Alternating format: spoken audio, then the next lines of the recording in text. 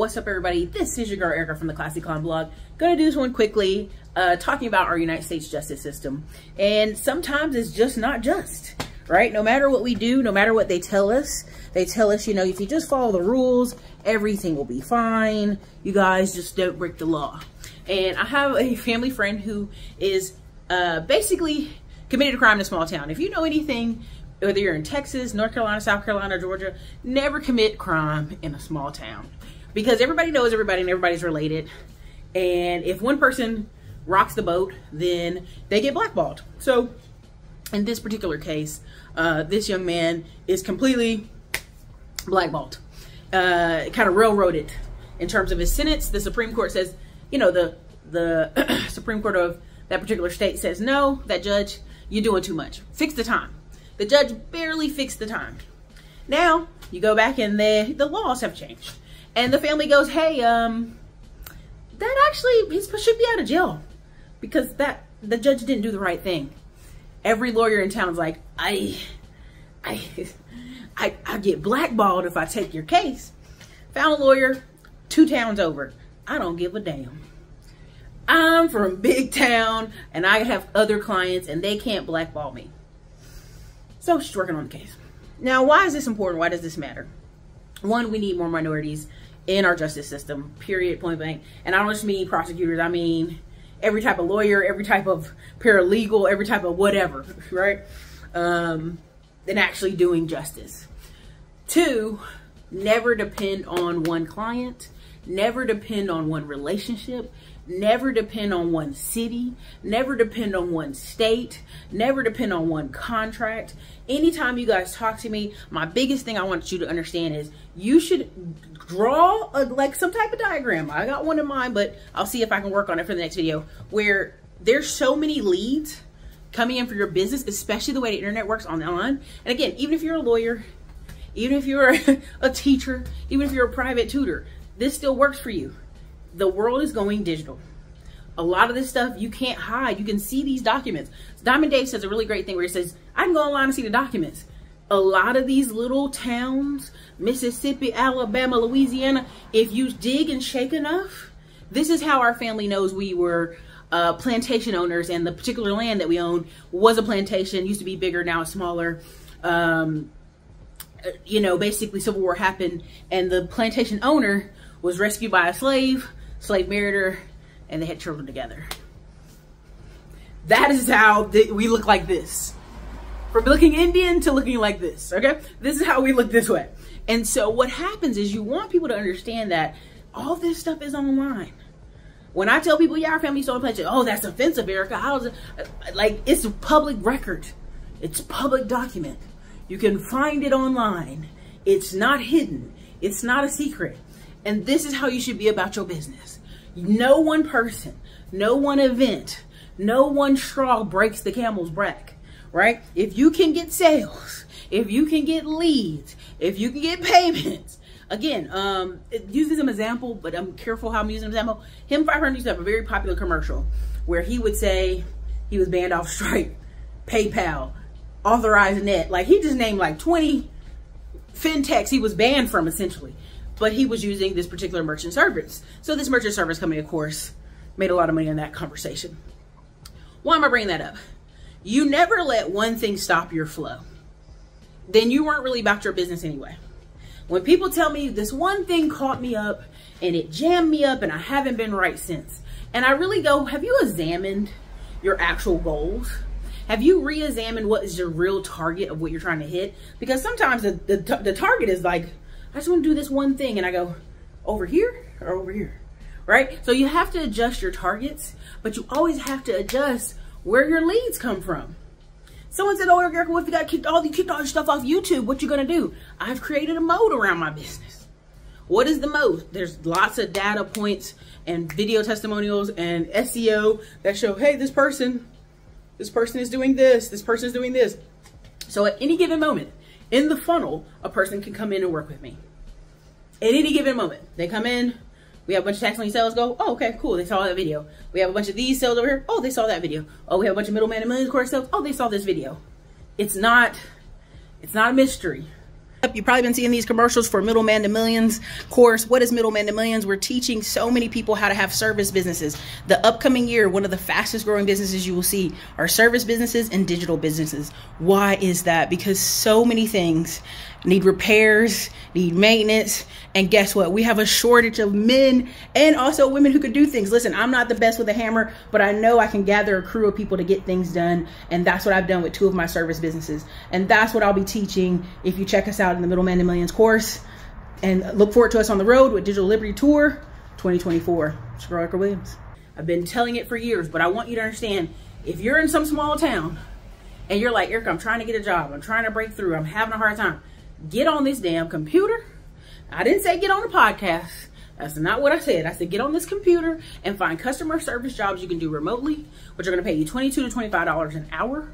Uh, I want you to find other opportunities to get yourself certifications for free, as many free ones you got. Go on HubSpot. There's about 30 free ones. Um, go on Salesforce. Go on Trailhead. Get into those systems because let's be very clear. I'm pushing very hard on here about tech about blue collar services, and about content creation. Why? Because those are three fields we can get into relatively cheap and have high return value. Now, the highest is going to be information and content. It can just go radically lopsided up. But I also don't want you to miss out on tech and blue collar because right now they're in a point where uh, there's a South Park video, comical, where the man is making a killing because young people don't know how to fix anything. And if you're the one 22 year old or 20 year old that knows how to do plumbing, you're rich. If you're the one guy who's 19 to 21 and you're willing to go on a roof, you're willing to plumb, you're willing to uh, do welding, you're willing to learn something, you'll be rich. It's just that simple because it's such a rare thing for that generation. All right. And, this lady joked the other day and said, everybody wants to be a YouTuber and a podcaster. I'm like, that's the young people you seeing. You need to get around young people and encourage them. You better get this blue collar money. You better go get this tech money. Another reason I, I push so hard for people to be in tech is they're writing this code without you. When you read these articles, when you read these stories about San Francisco and Miami, and, and you're like, who can afford a $6,000 a month apartment? The people writing those articles, the people in those circles, the people that went to Harvard, the people that went to Yale, the people that went into, went to these tech jobs, the people that are all their friends are tech and so they don't see anything below them financially. They don't like, oh, people are struggling. How? It's like this horse blinders. They got their horse blinders on to go straight forward. And this is the problem when you depend on one source, when you depend on one little small town. Now, if you're going to be in a small town, be the big fish in that small town. But ultimately, if you pick me up and shake me off and drop me in Houston tomorrow with nothing to my name, I will still get around and I still make money. Because I don't depend on one source. I just don't. And I don't want you to either. Uh, there's too many opportunities out here for you to grow. Again, I I had this guy, uh, I was watching his channel, and they were like, if you got your last $5,000, what would you do? And this guy named off like 20 things. And I know people in the audience probably like, what the hell? But but truly, if you're in your last 500 to $5,000, you're okay, baby. I mean, from stocks to e-commerce to creating supplements you can put on Amazon to starting a service business tomorrow that puts money in your pocket, you're good to go. Right? Don't get blackballed by being limited by thinking one person. I always tell people this: if you have one client that could leave your business and it destroy your business, you don't have a business. You're working for that one client. You have a job. Okay, you should have a constant source of clients coming in, leads coming in, phone conversations. Again, the 110-2 method, it works because it works. Um, if you ask me how to how do I build myself back up in 90 days if I lost everything, I could go through that video very quickly just depends, right? You know, people just have to want it, I guess. Um, but this is something I want you to understand what's happening in our country is people are depending on the coal mine in a small town when you should have been got on the computer, buddy. You should have been figured out something to do. Um, you see all these people moving from California, Oregon, you know, this dude's leaving Jeff, um, Jeff Becky, Becky, I'm messing his name up. He left from Maui, Maui, Hawaii, which he's been there 10 years, and is moving to Franklin, Tennessee. He's going to build a house. They're going to have a farm, all this stuff. And so when I see these things, I always go, these people aren't depending on one source. They're not depending on being in this small town and, and uh, my rent has to say 500. If it gets out of $500, I don't know what I'm going to do. You should be brainstorming all day the actual assets you have And when I mean assets, I don't just mean money. I mean what kind of skills and talent do you have that you could kick up and start again? Don't get blackballed. I'll definitely keep you posted on the update on the justice for that young person that we know. Uh, hopefully they'll be getting some freedom here very quickly, very shortly. Uh, but it's it's wasted time and money and resources from that family trying to get this person free because they're in a small town. Uh, and the crime was committed in a small town. So this is something they joke, even here in Austin, Texas, we're Travis County, Williamson County, which is quite big. They say if it's five to 10 in Austin, it's uh, in Travis County, it's 10 to 20 in Williamson County. And that's an incentive for you not to commit crime in their county. So they're going to bend the law and they're going to beat you with paperwork. And I try to say this in the nicest way possible. Many of y'all need to just sit down and read paperwork all day because you would figure out like, well, damn, I shouldn't do A, B, and C. Listen, I saw uh, two black guys riding in a car, tail light broke, tail light on the left hand side broken, Indiana plates, drinking in the car, smoking in the car, riding down the road. They were in Austin. I said, but if you drive up towards Round Rock, baby, y'all going to jail, jail. y'all going to jail, jail. And a lot of people just don't, uh, you know, for whatever reason, they don't, I don't know what will it make them drive around like that when they could just go to their house and sit in the backyard or go to their patio at their apartment. I don't know. I don't know.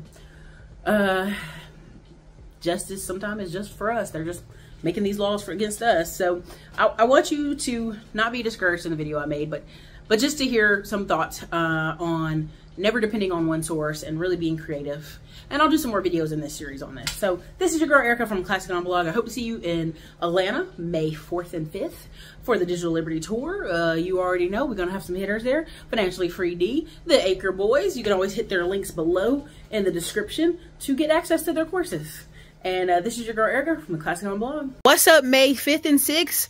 Join me in Atlanta for the Digital Liberty Tour. We have a collection of good hosts and speakers coming through. I'm so excited. Uh, we're going to be teaching you how to power up from your phone to have 24-7 income coming in. How? Affiliate marketing. Uh, we're going to teach you about a lot of content creation. Also how to create YouTube and Facebook ads and Google ads. Listen, we also are going to have credit specialists there we're also going to have, because funding is going to be so very vital and important in 2024, we're also going to have the Acre Boys fly down from New York to teach you about the importance of buying land online, the digital space where you don't have to leave your home. Again, the power of the liberty the liberty comes from being able to do this, any of this stuff on your phone.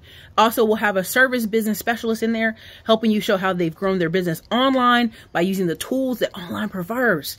Uh, listen, we don't want you to leave this, this event without being able to master Facebook ads, YouTube ads, Google ads, or what uh, type of stream of income you'd like to desire. There's going to be workbooks included, and you know we're going to eat tacos on Cinco de Mayo. So be there or be square. The links in the bio. We're going to be at a beautiful Kimpton Shane Hotel. Fancy. You're going to love it. This is your girl, Ericka, Classy Climb Blog. See you guys there.